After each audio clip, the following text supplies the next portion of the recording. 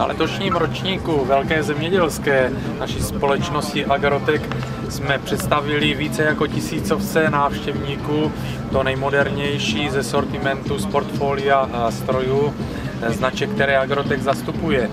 Z těch nejzajímavějších eh, určitě stojí za eh, zmínku od společnosti Amazone eh, nový samojízdný postřikovač nesoucí označení Pantera 4000. Je to stroj velmi sofistikovaný, který vyniká vysokou ekonomikou eh, provozu, vysokými výkony. Je výjimečný svým svojí konstrukcí podvozku hydropneumatického eh, provedení 4000 litrovou eh, nádrží postřikové kapaliny s, se sofistikovanými systémy regulace dávkovaného množství.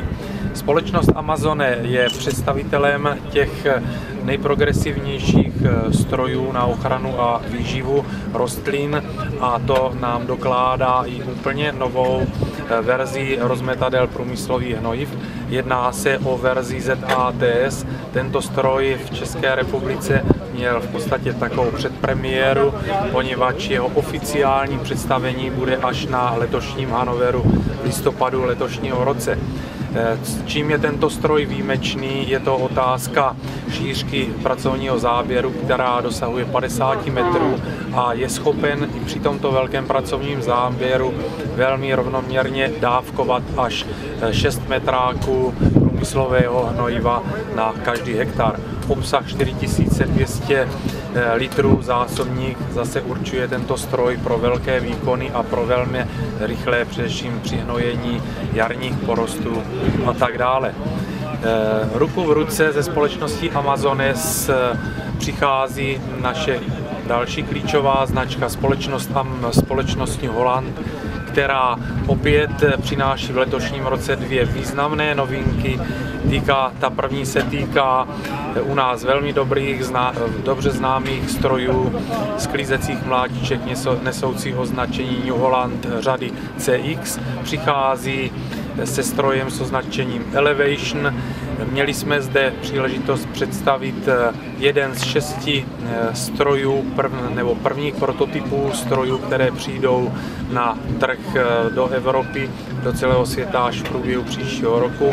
Jedná se především o systémy automatického nastavení a regulace otáček jak celého systému separace, tak vytřasadel a čistícího ústrojí. To znamená, tento stroj se aktuálně sám přizpůsobuje těm konkrétním pracovním a terénním podmínkám, kterým pracuje, v kterých pracuje.